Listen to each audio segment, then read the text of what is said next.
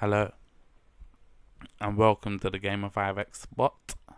This is Let's Talk Football Transfer News. Now, it's understand that Wolfsburg want to do a deal with Bayern Munich for Luis Gustavo. Nothing's been announced about the price or anything yet, but I was expecting someone from the Premier League to go in for him from certain rumours. That would be an interesting move if he comes over here. I think he's a class player. And also Stevan Jovetic is on his way to Manchester to finalise terms with Manchester City. Now, he's been at Fiorentina for four years, and I think he scored around 38 goals. Last season he had 13. This season he had 14. What do you think he's gonna be like in the Premier League if he does actually finalize the deal? And also, let's go to the Wayne Rooney saga. Where David Moyes has been saying that he's gonna be playing second fiddle. And Rooney's confused because he thought he was meant to be the first team and he don't know what's going on. It's like they don't want him, but it's like they do want him because of the profit that they're gonna make from him selling the shirts and everything. That's probably why they don't want him to go.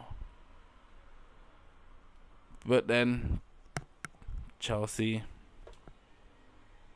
Mourinho come out and said that he's that's his only target. You don't need to do nothing else. He just wants Wayne. What do you think of that move? But then also, Arsenal, Wenger's been coming out and saying that Arsenal can afford him. Maybe hinting that they're going to go after him. He's looking out to see what happens in the situation.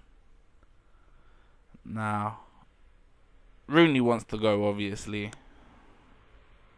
Man, you don't want him to go. It's the same with Suarez and Liverpool. And apparently Arsenal have upped their bid to 40 million for Suarez. After the 30 million bid got rejected, now Liverpool have rejected the 40 million bid and said that they want 55 million because Cavani's worth 55 million, so obviously Suarez is. And it's all tit for tat, really. It's just stupid. If the player don't want to be at your club, let him go. That's all I can say. So what do you think of them two stories right there? Wayne Rooney and Suarez. Leave them in the comments below. And also Manchester United are still waiting to hear from Barcelona about their bid for Cesc Fabregas. According David Moyes when I've heard that Barcelona have rejected the bid and said that they would take 31 million instead of what they offered, which was reported to be 25 million. But then, with the deal that Barcelona and Arsenal did for Fabregas, is that Arsenal get first dibs if they was to sell him. So if they accept a bid for Man U, obviously they got to go back to Arsenal, say they're gonna pay the same, and if they say yes, well, boy, let's see what happens. What do you lot think about that? And Flamengo are about to complete the signing of Andre Santos from Arsenal.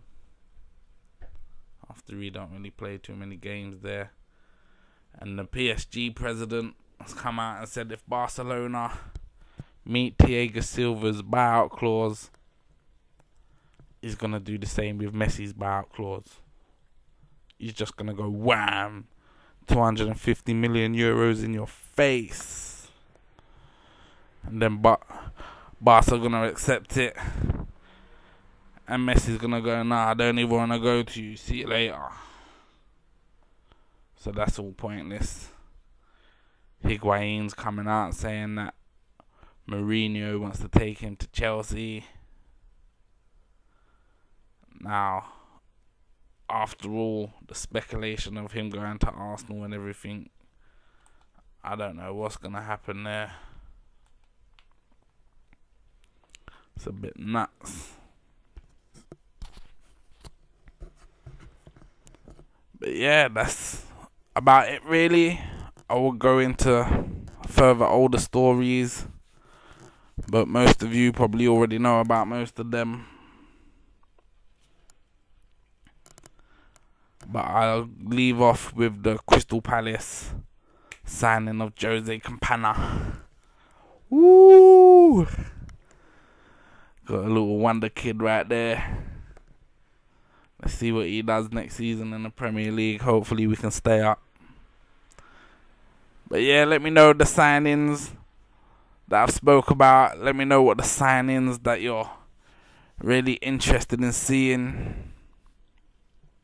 Ones that you think that are gonna happen. And how your club's gonna do in the upcoming season. Only about four weeks away from there now, just under. So yeah, thanks for watching. Thanks for listening. And take care. Have a nice day. Peace.